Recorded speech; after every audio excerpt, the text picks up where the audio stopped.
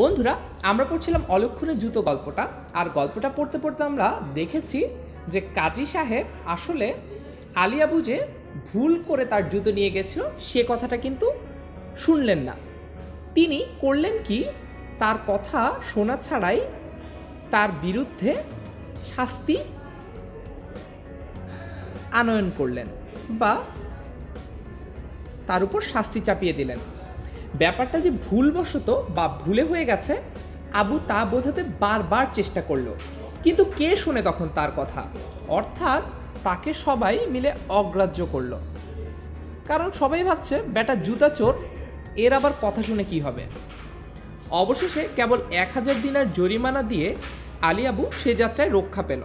তার মানে তার জেল খাটতে হলো না, কিংবা তার চাবুকের ঘা খেতে হলো না। তার পরিবর্তে সে এক হাজার দিনার জরিমানা দিয়ে মুক্তি পেল। বাড়ি ফিরে আসতে আসতে সে ভাবল যে অপয়া বা অলক্ষণে জুতোর জন্য এতটা হয়রানি আর বেজ্জতি তার মুখ আর জীবনে দেখতে চাইনি আজ বাড়ি গিয়ে ও দুটোকে শেষ করতে হবে। তার মানে হচ্ছে জুতো জোড়োকে একেবারে ধ্বংস করতে হবে।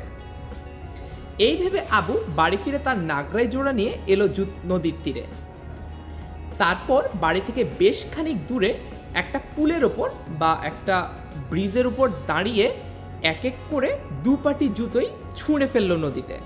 তার মানে তার আসলে এতদিনের ব্যবহৃত জুতোর কারণে তার যে পরিমাণ হয়রানি ও বেজ্জুতির সম্মুখীন হতে হয়েছে, তাই তার কারণে এই জুতো জোড়ার উপর তার বিতৃষ্ণা জন্মে গিয়েছিল। তার মানে একেবারেই সে আসলে সহ্য করতে পারছিল না এই জুতো জোড়াকে তাই কীভাবে রেহাই পাবে জুতো জোড়ার হাত থেকে সেটি সে কিন্তু ভাবছিল। তারপর কি হলো বন্ধুরা? আলিয়া বুকি তার এই অলক্ষণী জুতো জোড়ার হাত থেকে মুক্তি পেয়েছিল, নাকি তাকে অন্য কোনো পন্থা অবলম্বন করতে হয়েছিল?